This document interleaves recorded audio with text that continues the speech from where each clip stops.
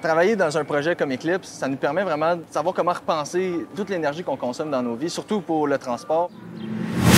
Aujourd'hui, on est à l'ETS. On est venu voir un véhicule solaire, mais surtout comprendre à quoi ça sert un projet de même. Je m'appelle Anthony, je suis directeur de l'équipe média dans, ce- dans cette équipe-là. Ben, nous, on s'en va en Australie, puis on va traverser du nord vers le sud.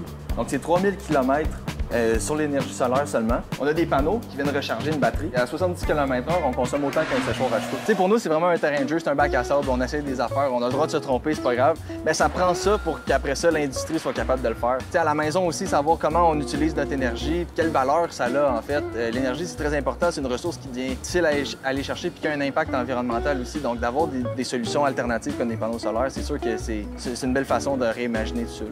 Y a-t-il une radio? On pourrait en mettre, mais là, tout ce qui est consommation d'énergie, on essaie de réduire ça au C'est ça le maximum. but. La mobilité durable, pour moi, c'est pas nécessairement juste de transformer tous les véhicules en véhicules électriques. C'est essentiellement d'avoir quelque chose qui, qui dure dans le temps. Donc, c'est surtout le transport en commun, c'est les vélos, puis c'est d'adapter ça. C'est de l'énergie gratuite. Mettons, là, je vais embarquer dedans. C'est quelque chose de possible. Mais j'ai même pas de permis en plus. Moi, ce qui me motive aussi, c'est de trouver comment bien l'utiliser. Ben, qu'il y ait plein de clubs à l'ETS comme ça, puis plein de gens impliqués dans des projets verts, c'est sûr que c'est inspirant un peu, puis ça nous donne envie de continuer, puis de se dépasser, pas juste dans des compétitions internationales, mais entre nous autres, puis, tu sais, on est tous là à s'aider, puis à se donner des trucs. Puis même les gens qui sont pas impliqués dans les clubs, en fait, je suis sûr que ça leur donne une lueur d'espoir aussi de voir tous ces projets-là. Des fois, on se fait même remercier juste d'exister, donc euh, c'est assez formidable.